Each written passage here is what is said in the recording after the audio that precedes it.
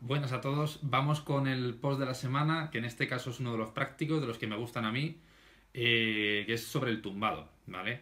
Entrenar el tumbado.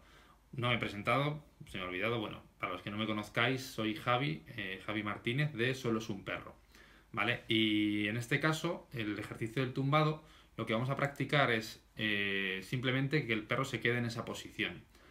Eh, buscamos esta posición porque es la más estable, quiero decir, el sentado es una posición más inestable y con el tiempo muchos perros acaban llegando a tumbar, cambian de posición eh, porque se cansan. Y el de pie, obviamente, es la posición más inestable, ¿no? Que, un perro se quede totalmente quieto cuando está de pie es más difícil que se quede totalmente quieto cuando está entumbado.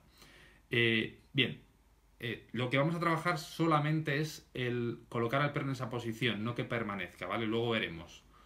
Eh, lo hago siempre desde el de pie, lo debéis hacer siempre desde el de pie, no sentar al perro y desde el sentado que haga el tumbado, ¿vale? Eso no lo debéis hacer. Simplemente con el perro de pie metéis la mano con comida en las primeras repeticiones en el pecho del perro, entre las dos manos delanteras, y el perro acaba tumbándose hacia atrás, ¿vale? También os aconsejo que lo hagáis siempre en movimiento, con el perro siguiéndoos hacia atrás, vosotros caminéis hacia atrás y ahí en ese, en ese movimiento, pum, tumbáis, ¿vale? Es algo más dinámico, más divertido y el tumbado os quedará eh, siempre más bonito, ¿vale? Más espectacular si, si, lo hacéis así que empezarlo aburrido con el perro en estático, ¿vale? Em, ¿Cómo iniciarlo? Bueno, pues pónselo muy fácil, coge comida y le guías hacia la posición del tumbado, ¿vale? No, no le compliquéis la, la vida, las primeras repeticiones. Vamos a ver el, vídeo. En este primer vídeo de, Summer veis que simplemente lo que hago es uso eh, con comida en la mano veis cómo ayuda a la perra metiendo la mano en, el pecho ahora mismo lo estamos haciendo hacia atrás y ella ya se lo sabe por tanto sí que es verdad que eh, veis a ver un, tumbado que no es, no es una iniciación al tumbado pero ahora vamos a verlo en estático. Mira, veis, el perro en de pie y uso la mano, eh, busco meter la mano entre, entre el pecho de forma que la perra se tumba. Bien, ese es el primer vídeo. El segundo vídeo eh, es para los típicos que me dicen que mi perro no se tumba. Bueno, si tu perro no se tumba, lo primero que tienes que hacer es seleccionar una superficie donde se sienta cómodo y seguro, que esté caliente, que sea o, templada, ¿no? Eh, algo que, que no sea un suelo frío eh, yo uso esta colchonetita, eh, os propongo usar esta, pero podéis usar el, sillón de casa, cualquier cosa, ¿no?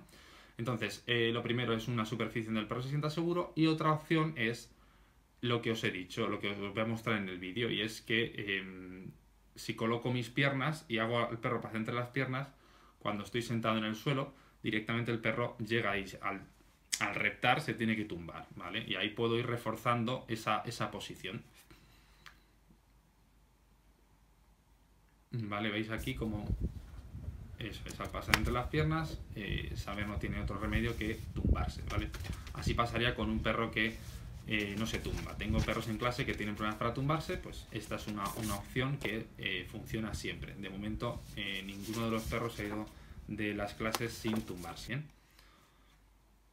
Y por último, los errores frecuentes. Bueno, el primero es quitar las ayudas demasiado pronto, es decir, empezar a quitar el gesto de la mano y, empezar a decirle al perro tumba sin que el perro lo tenga claro. Em, empieza a decir al perro tumba cuando el perro ya simplemente con la mano ya se empieza a tumbar, ¿vale? Dices tumba y usas la mano después.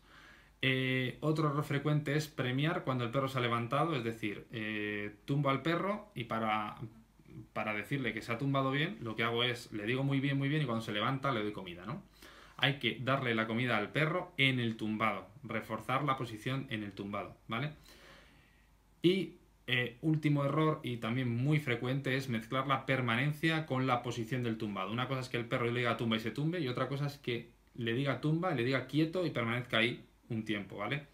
Eh, para, la permanencia, para la permanencia en el sentado o en el tumbado o en el de pie, el trabajo es totalmente diferente que enseñar la posición. Hay que eh, eh, desasociarlos, ¿vale?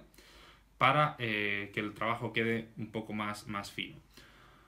El, curso del próximo mes es el quieto pase lo que pase y en él sí que veo cómo convertir una posición, en sentado, ya sea el sentado o el tumbado, en una permanencia, o sea, que el perro siga ahí hasta que eh, lo liberes, hasta que le digas que se puede mover, ¿vale? Y bueno, para el que esté interesado puede visitar esa web y el que no, pues no pasa nada, lo veremos en otro curso.